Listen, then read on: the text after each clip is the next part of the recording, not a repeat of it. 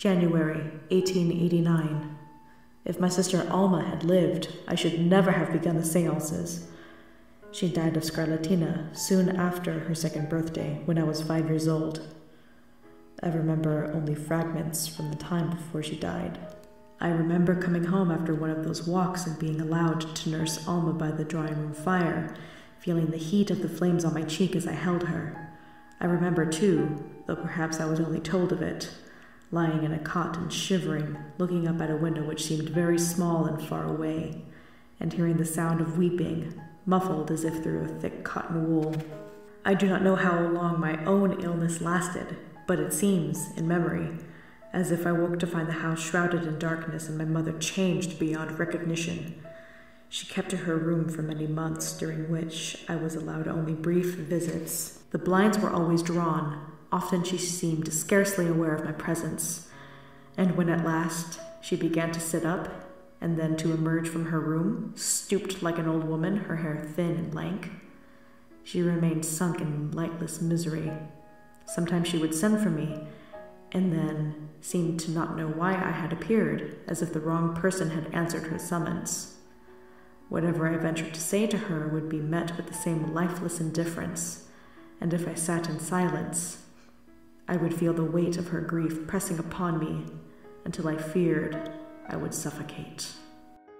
At home, however, my dead sister was always with us. Mamma had made a shrine of Alma's room, a small chamber opening off her own bedroom, keeping everything as if Alma might reappear at any moment. The idea came to me with the echo of my own question to Mrs. Greaves.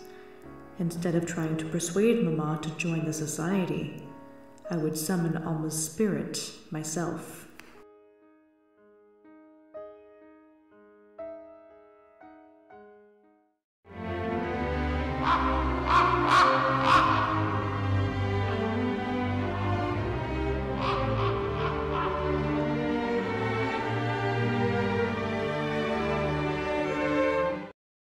Hello everyone, Adrienne here. So, Today we are going to be doing a book review. However, before we get into that, I have a couple of announcements.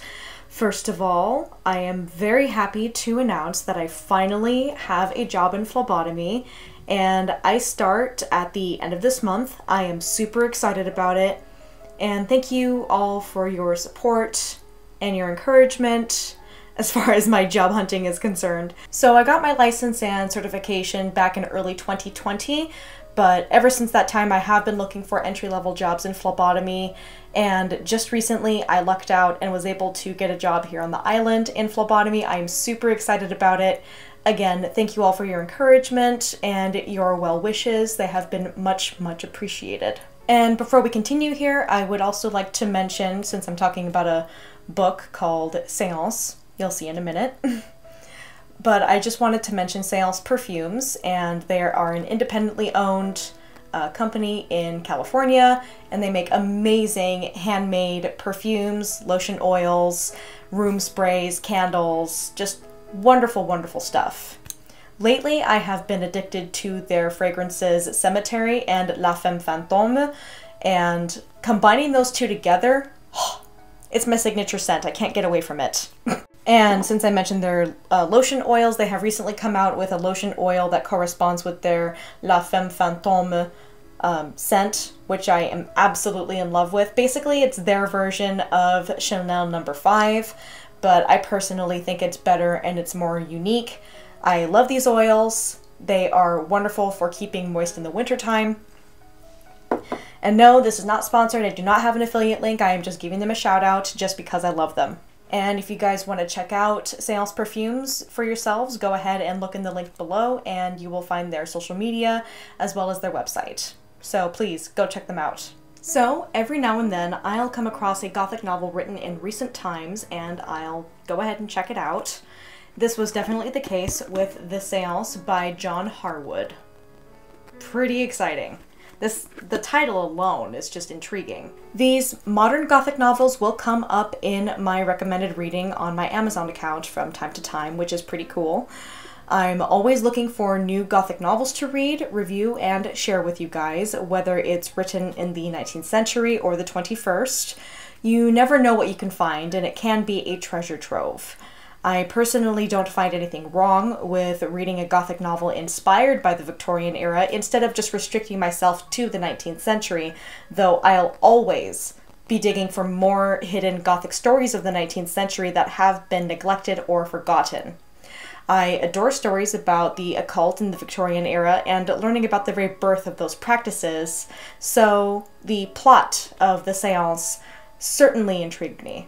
Set in late Victorian England, the seance tells a story of Constance Langton, an alienated young woman who feels rejected by her crestfallen mother's long, dark obsession with her deceased baby sister.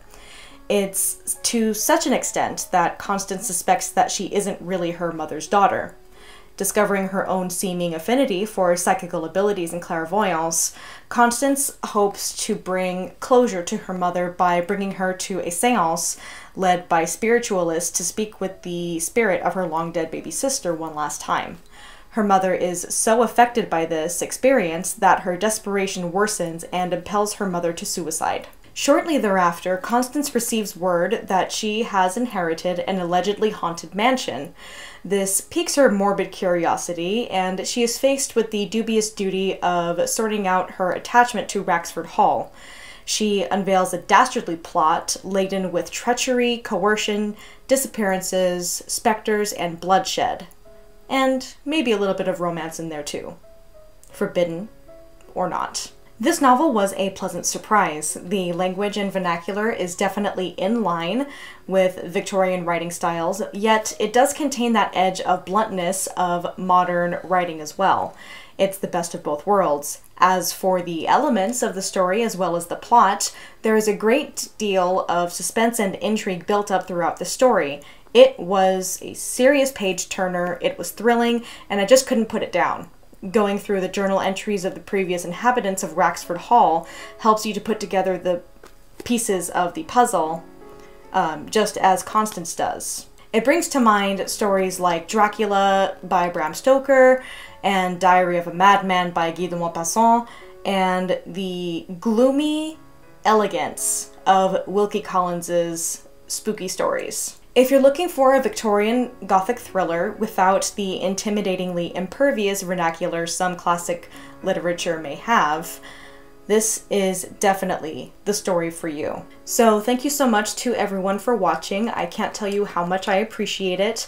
I know it's been a bit of a while, but with transitioning into my new job and everything, things have been pretty chaotic, needless to say. And thank you so much to my patrons, including my latest patron, whose name is Mecca Creel, or Creel. Terribly sorry if I'm mispronouncing your name, but thank you so much for becoming a patron. I can't tell you how much I appreciate it. And subscribe to my channel if you haven't already, and make sure you hit that bell for notifications if you are down for Gothic literature reviews, reviews of new goth bands, and some old goth bands that are still making new music, things like that absinthe reviews, and even talking about the 19th century, such as opera and culture, and other fascinating subject matter. You guys are amazing. I love you, and I will see you guys later. Bye!